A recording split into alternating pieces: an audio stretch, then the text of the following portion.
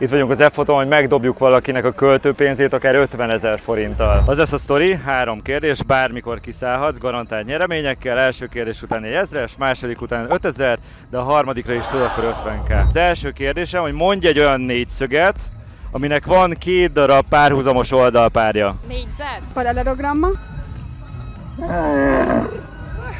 Négyzet teljesen jó gyerekek. Uhuhu! Tagadd azt a mondatot, hogy minden játékos megnyeri az 50k-t. Nem minden játékos nyeri meg az 50 k Nem mindenki nyeri meg az 50 ezer forint. Jól kijátszottad. Nagyon jó! Mennyi a, a 3x-6 egyenesnek a meredeksége? Mínusz 6. Ú, majdnem, gyerekek! Mennyi 50-nek a 24 a Figyelj, figyelj, még tudni fogja a végén. 12.